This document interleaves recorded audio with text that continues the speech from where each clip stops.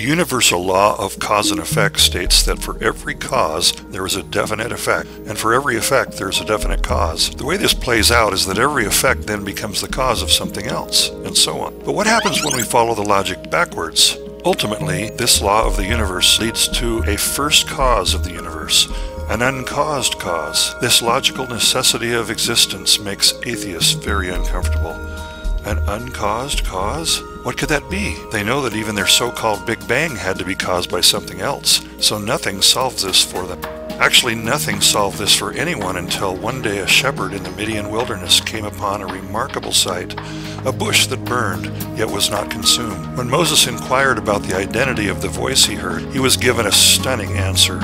I am that I am. You shall tell the people that I am has sent you to them. In other words, this name of God, I am, literally means the uncaused one, or in effect, the source of all existence. Eternity goes on into eternity future, but only one cause can be traced backwards from all eternity. The first cause, the uncaused cause, I am, or in its derivative names, Jehovah or Yahweh. Thus Moses learned that his God is not merely a supernatural being, but the very source of all existence.